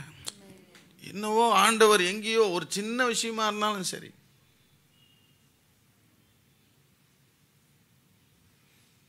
அவள் மனம் திரும்பும்படியா என்ன கொடுத்தேன்? தவணை கொடுத்தேன். அந்த சபை மனம் திரும்புறதுக்காக தவணை கொடுத்தேன். அந்த அந்த அந்த எஸ்எபேல் மனம் திரும்புறதுக்காக நான் நிறைய வாய்ப்பு கொடுத்தேன். மனம் திரும்புவதற்கு வாய்ப்பு கொடுக்கிற ஒரு நல்ல தேவன் இருக்கிறார். மூணு இருபது இதோ வாசற்படியில் நின்று என்ன செய்கிறேன்? கொஞ்சம் கொஞ்சமா கொஞ்சம் கொஞ்சமா என்னை வெளியே அனுப்பிட்டீங்க. ஆ? மேலே நின்று ஆண்டவர் இல்லை ஆண்டவரே இந்த ஏரியாலாம் உங்களுக்கு பிடிக்காது. அதனால் நீங்கள் கொஞ்சம் நீங்கள் கீழே உட்காருங்க. இது உங்களுக்கு பிடிக்காது நாங்கள் செய்கிறது நாங்கள் மாற மாட்டோம். நீங்கள் பின்னாடி போய் உட்காந்துங்க. இது மொத்தமாக அவங்களுக்கு பிடிக்காது நீங்கள் வெளியே போயிருங்க. இப்படி வெளியவே தள்ளியாச்சு. வெளியே தள்ளினவர் வெளியே உன்னை விட்டு போகலை. வாசற்படியில் நின்று தட்டுகிறார். மாற வேண்டிய விஷயங்களுக்காக இருதயத்தின் வாசப்படியில் நின்று தட்டிட்டு இருக்கிற போல போல. அவர் நின்று என்ன பண்ணுறாரு தட்டுறாரு. ஹி ஸ்டில் நாக்கிங் தட்டிகிட்டே இருக்கிறாரு. கர்த்தர் உன்னை பார்த்து சொல்கிறார் உன் வாசற்படியில் நின்று என்ன செய்கிறேன்? தட்டுகிறேன். நான் உன்னை விட்டு போல. I still want to come in நான் இன்னும் உள்ளே வரத்துக்கு த தயாராக இருக்கிறேன். வாசற்படியில் நிற்கிறேன்னு கூட இல்லை. நின்று என்ன செய்கிறேன்? தட்டுக்கிறேன் நீ உள்ளே வந்து என்னை சொன்ன உள்ளே கூப்பிட்டு போய் நான் மறுபடியும் உன்னோட கூட அந்த ஐக்கியத்தை விரும்புகிறேன். உன்னோட போஜனம் பண்ண விரும்புகிறேன். உன்னோட உட்காந்து பேச விரும்புகிறேன். உன்னுடைய உன்னுடைய ஆதி அன்பை திரும்ப கட்ட விரும்புகிறேன் உன்னுடைய அந்த பரிசுத்த வாழ்க்கையை கட்ட விரும்புகிறேன் உன்னுடைய இந்த சில விஷயங்கள்லேருந்து உன்னை விடுதலையாக்க விரும்புகிறேன். நீ இன்னும் என் கையில் தான் இருக்கிற. சபையே நான் உன் மத்தியில் தான் இருக்கிறேன் நான் உன் கூட தான் இருக்கிறேன்.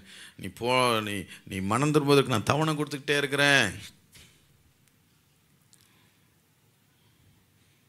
நான் வாசற்படியில் நின்று தட்டுகிறேன்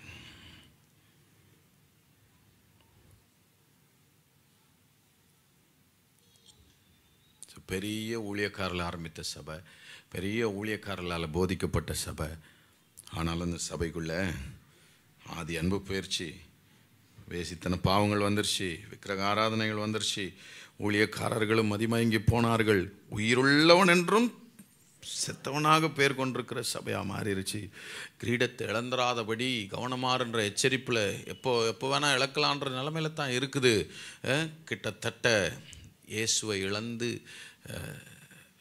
வெதுவெதுப்பு.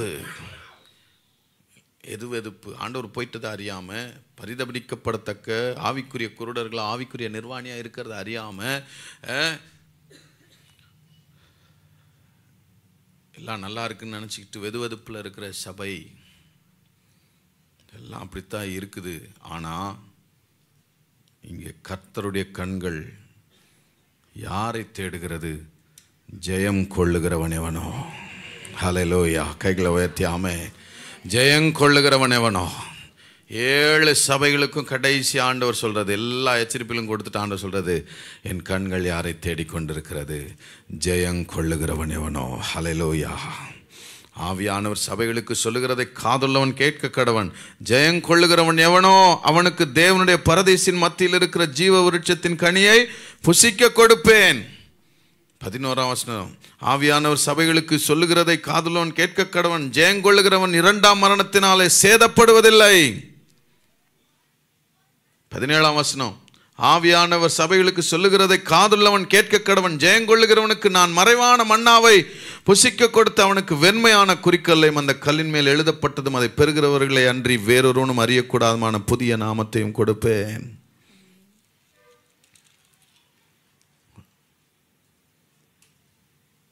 இருபத்தி ஆறு ஜெயங்கொண்டு முடிவு பரிந்தம் என் கிரியைகளை கை கொள்கிறவன் அவன் அவனோ? அவனுக்கு நான் என் பிதாவினிடத்தில் அதிகாரம் பெற்றது போல ஜாதிகள் மேல் அதிகாரம் கொடுப்பேன். மூன்றாம் அதிகாரம் பன்னெண்டாம் வசனம் ஜெயம் கொள்ளுகிறவன் எவனோ அவனை நான் தேவனுடைய ஆலயத்திலே தூணாக்குவேன். மூணு இருபத்தி ஒன்று நான் ஜெயங்கொண்டு என் பிதாவினுடைய சிங்காசனத்திலே அவரோடு கூட உட்கார்ந்தது போல ஜெயங்கொள்ளுகிறவன் எவனோ? அவனும் என்னுடைய சிங்காசனத்திலே என்னோடு கூட உட்காரும்படி அருள் செய்வேன். எழுந்து நின்று.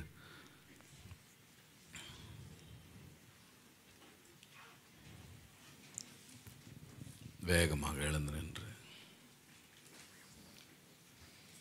ஹாலெலூயா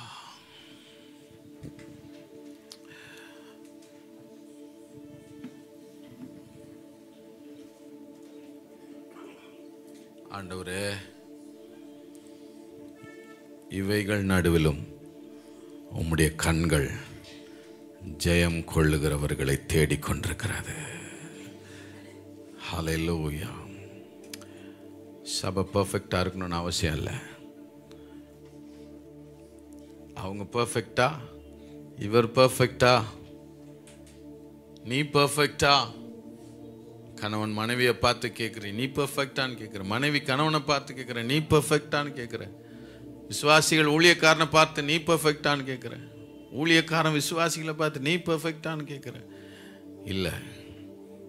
யார் பர்ஃபெக்டோ இல்லையோ சபா அப்படித்தான் இருக்கும். மற்றவங்க அப்படித்தான் இருப்பாங்க. ஆனால் கத்தருடைய கண்கள் ஜெயம் கொள்ளுகிறவன் எவனோ ஜெயம் கொள்ளுகிறவன் எவனோ? வாட்ச் அவுட் யுவர் லைஃப் உன் வாழ்க்கையை கவனமுள்ளவனாய் கவனித்து திருந்த வேண்டிய இடங்களில் திருந்தி மனம் திரும்ப வேண்டிய இடங்களில் மனம் திரும்பி ஜெயம் கொள்ளுகிறவனாய் நீ மாறு. God is looking for the overcomers. ஹalleluya கரங்களை உயர்த்தி ஆண்டவரே. ஒரு ஜெயம் ஜெயங்கொள்ளுகிறவனா என்னை மாற்றும் ஆண்டவரே. ஹalleluya ஹalleluya ஹalleluya ஷாதலாதி அந்தரபா கலந்தரபலபா ரகலாதி அந்தரபலபா நல்ல ஜெபம் ஆண்டவரே நான் அப்படியே இருக்கிற நிலைமையில திருப்தி அடைந்து போகாதபடிக்கு. ஹalleluya இருக்கிற ஜெப அனுபவத்தில் திருப்தி அடைந்திராதபடி இருக்கிற ஆண்டவரே ஆவிக்குரிய அனுபவங்களை திருப்தி ஆயிராதபடி இருக்கிற ஆண்டவரே அனுபவத்தோட நின்று போகாதபடி ஆண்டவரே இருக்கிற பரிசுத்தத்தில் நான் ஆண்டவரே சந்தோஷப்பட்டு திருப்தி அடைந்து விடாதபடி ஹாலையிலூயா உம்முடைய சமூகத்துக்கு வந்து இன்னும் என்னிடத்தில் என்ன குறை உண்டு ஆண்டவரே? இன்னும் நான் சரி செய்ய வேண்டிய காரியங்கள் என்னப்பா? இன்னும் ஆண்டவரே நான் பா எந்த இடத்துல நான் உயிருள்ளவன் என்று பெயர் கொண்டு ஆண்டவர் செத்தவனா இருக்கிறேன். எனக்கு காண்பீங்க. ஹalleluya எங்க நான் உலகத்தோட நான் ஆண்டவரை ஒன்றிணைந்து ஆண்டவரே உலக சிநேகம் விபச்சார பாவத்துக்கு ஒப்பனையா இருக்கிறதை நான் ஆண்டவரை உணர்ந்து என்ன நான் மனம் திரும்பலுக்குள்ள கொண்டு வந்து காலலோ ஷதராலி அந்த ரபலபா இந்த வருடத்தின் கடைசி நாட்கள் எல்லாரும் ஒப்பு கொடுத்து ஜோம் ஆண்டவரே ஹalleluya உம்முடைய கண்கள் ஜெயங்கொள்ளுகிறவன் எவனோ என்று தேடிக்கொண்டிருக்கிறது. இந்த சபைக்குள்ளே வந்து ஜெயங்கொள்ளுகிறவன் எவனோ என்று தேடிக்கொண்டிருக்கிறது. ஏமேன் மேற்கொள்ளுகிறவன் எவன் என்று கத்தருடைய கண்கள் தேடிக்கொண்டிருக்கிறது. God's are God's eyes are looking for the overcomers not the compromises சமரசம் செய்து கொள்ளுகிறவர்கள் அல்ல ஒத்து போகிறவர்கள் அல்ல. தேவனுடைய கண்கள் ஹாமேன் ஜெயங்கொள்ளுகிறவர்களை தேடிக்கொண்டிருக்கிறது. Why don't you become an overcomer? Hallelujah. இவர் ஜெயம் கொள்ளுகிறவனா என் மாறக்கூடாது. ஹalleluya இன்னும் அதே கோபம் இன்னும் அதே வெறி இன்னும் அதே மூர்க்கம் இன்னும் அதே கெட்ட வார்த்தைகள் இன்னும் அதே காம பார்வைகள் இன்னும் அதே ஆமென் வேசித்தன எண்ணங்கள் அதே வேசித்தன ஆசைகள். சபையே! உரபா கல்தரபா ஷம்தலபதரபா. ஹalleluya ஹalleluya ஹalleluya ஜெபம் பண்ணுங்க. ஹalleluya கர்த்தாவே நான் ஜெயம் கொள்ள வேண்டிய பகுதிகளை நான் காந்து இந்த ஜெபம் நாட்கள் ஐந்து நாட்கள் ஜெபம் ஆறு நாட்கள் ஜெபங்கள் ஹலலூயா இதை வைத்து தான் ஜெபங்களை நடத்த போகிறோம். ஹலலூயா விரைந்து ஓடி வாருங்கள். ஹலலூயா தூரமாக இருக்கிறது காலையில் வர முடியலன்னா உட்காந்து ஆன்லைன்லேயாவது காலையில் எழும்பி உட்காந்து தூக்கத்தை தொலைங்க. அதெல்லாம் தூக்கி போட்டுட்டு ஹலலூயா ஜப நாட்கள்லையாவது வர முடியாத ஆட்கள் காலையில் சபையோடவாவது சேர்ந்து கொஞ்சம் ஜெபம் பண்ணுங்க. ஹலலூயா நம்ம சுத்திகரித்து கொண்டு புதிய ஆண்டுக்குள்ளே ஹலலூயா பழைய பாவத்தோட அல்ல பழைய காரியங்களோட அல்ல. ஆமேன். தேவன் வரப்போகிறார். அவருடைய வருகை சமயமா இருக்கிறது. ஆயத்தமாக்கப்பட்ட சபையாக. ஹalleluya Jesus. Thank you Lord. Hallelujah. Hallelujah. Loya ராஜா வருகிறார். ஆயத்தமாவோ. ஏசு வருகிறார். எதிர்கொண்டு செல்லுவோ ராஜா வருகிறார். ஆயத்தமாவோ இயேசு எதிர்கொண்டு செல்லுவோம் பள்ளங்கள் எல்லாம் நிரம்பிட வேண்டும். மலைகள் குன்றுகள் தகர்ந்திட வேண்டும். கோணலானவை நேராகணும். கரடானவை சமமாகனு. பள்ளங்கள் எல்லாம் மலைகள் குன்றுகள். என் வாழ்க்கையில் இருக்கிற எதெல்லாம் தகர்க்கப்படணுமோ பெருமைகள் பொறாமைகள் கசப்புகள் அலையிலோயா எல்லாத்தையும் தகர்த்து கரங்களை உயர்த்தி ராஜா வருகிறார். ராஜா. ஆயத்தமாவோ. ஜெயம் கொள்ளுகிறவர்களாய். ஆயத்தமாவோம் இயேசு வருகிறார். எதிர்கொண்டு செல்லுவோம்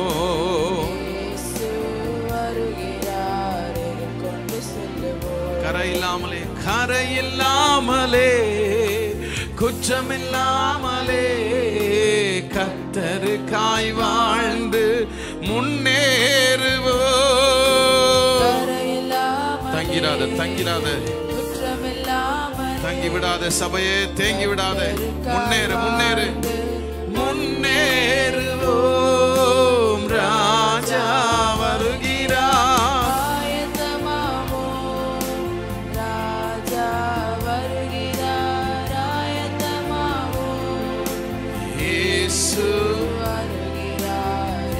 கொண்டு செல்லுவோம். ஏசு இது கொண்டு செல்லுவோம்.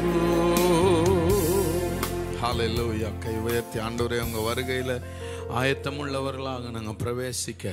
ஆமே ஆதி அன்பை நாங்கள் எங்கெல்லாம் இழந்திருக்கிறோமோ மறுபடியும் நல்ல ஹalleluya ஜெப வாழ்க்கைக்கு நல்ல ஒப்பு கொடுங்க. வேதத்தோட உட்காந்து த- சபையின் ஜெபங்களோட உட்காந்து ஹalleluya கொஞ்சம் உலகம் உலகம்னு ஓடாமல் வேலை வேலைன்னு ஓடாமல் பிஸ்னஸ் பிஸ்னஸ்னு ஓடாமல் ஆமேன். எனக்கு சொகுசுன்னு ஓடாமல் ஆண்டவருடைய ஆலயத்துக்கு ஓடி வருங்க ஒப்பு கொடுங்க. இதெல்லாம் உங்களை உருவாக்கும் உருவாக்கும். தேவ சமூகத்துக்கு வந்து கேட்கிற வார்த்தைகள் ஜெபங்கள் உங்களை மாற்றும். ஹalleluya ஆண்டவரே மக ஸ்தோத்திரம் விக்கிரகம் ஆராதனை சம்பந்தப்பட்ட விஷயங்கள். ஹalleluya வேசித்தனத்துக்கு ஏற்ற பாவங்கள் உள்ள வராதபடி காத்துக்கொள்ள. ஆண்டவரே ஸ்தோத்திரம். ஹalleluya ஆண்டவரே ஊழியர்களாகிய நாங்களும் கவனமா இருந்து ஆண்டவரே ஆமே ஆண்டவரே உயிருள்ளவர்கள் என்று பெயர் கொண்டிருந்து செத்ததா இருக்கிற சாவுக்கேதுவானவைகளை ஸ்திரப்படுத்த நாங்கள் எங்களை ஒப்பு கொடுக்கிறோம் ஐயா. ஹalleluya எங்க கிரீடத்தை நாங்கள் இழந்துராதபடி. எத்தனை பேர்? ஆண்டவர்கிட்ட ஜோமனு என் கிரீடத்தை நான் இழந்துடக்கூடாது என் பலனை நான் இழந்துடக்கூடாது எனக்கு நீ வைத்திருக்கிற பலனை இழந்துராதபடி கவனமாக இருந்து இன்னொரு முன்னேற. ஹalleluya வெது வெதுப்புல இருந்து வெளியே வா. வெது வெதுப்புல இருந்து வெளியே வாரா come out of your comfort zone Loya கவனமுள்ளவர்களாய் நாங்கள் இருந்து ஜெயங்கொள்ளுகிறவர்களாய் எங்களை மாற்றும். Help us to become overcomers இயேசுவின் நாமத்தில் பிதாவே. என் ஆத்மாவே கத்தரை ஸ்தோத்தரி. என் முழு உள்ளமே அவருடைய பரிசுத்த நாமத்தை ஸ்தோத்தரி. என் ஆத்மாவே கத்தரை ஸ்தோத்தரி. அவர் செய்த சகல உபகாரங்களை மறவாதே. Hallelujah hallelujah hallelujah hallelujah.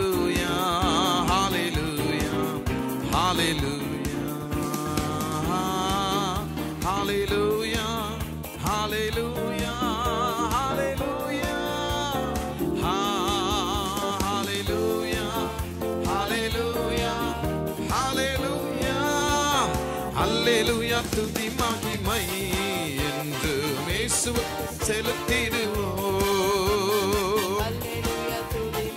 worship you மகிமையை செலுத்துகிறோம் செலுத்துகிறோம்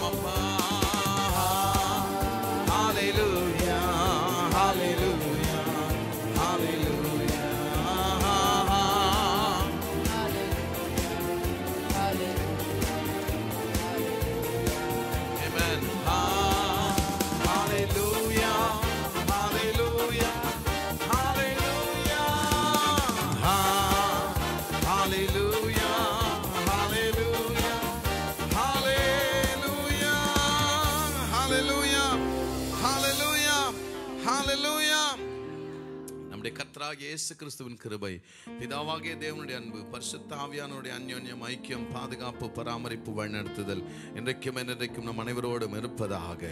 கர்த்தர் உன்னை ஆசீர்வதித்து உன்னை காக்க கடவர். கர்த்தர் தம்முடைய திருமுகத்தை உன்மேல் பிரகாசிக்க பண்ணி உன்மேல் கிருபையாயிருக்க கடவர். கர்த்தர் தம்முடைய முகத்தை உன்மேல் பிரசன்னமாக்கி உனக்கு சமாதானம் கட்டளையிட கடவர். ஹalleluya ஹalleluya கர்த்தர் உங்களை ஆஸ்வதிப்பார் ஒரு ஒரு வாழ்த்தி கடன் செல்லுங்கள். பி வித் யூ புதிதாய் வந்தவர்கள் இருப்பீர்களானால் முன்பாக வந்து என்னை சந்தித்து விட்டு போங்கள். ஆமீன். முக்கியமான காரியத்திற்காக ஜெபிக்க வேண்டும் இருக்கிறவர்கள் நீங்கள் கொஞ்சம் காத்து நின்று ஜெபம் பண்ணி கொண்டு போங்கள். May the Lord be with you ஜெபங்களுக்குள்ளே கலந்து கொள்ளுங்கள். இந்த வாரத்தில் ஜெபங்களை தவற விடாதீர்கள். ஆன்லைனில் பார்க்கிறவர்கள் நீங்கள் உங்களுடைய பெயர்களை பதிவிடுங்க. உங்களுடைய பெயர்களை பதிவிட்டு ப்ரைஸ் லாட்னு போடுங்க. அந்த பழக்கங்களை கற்றுக்கொள்ளுங்க. Thank you God bless you God be with you praise God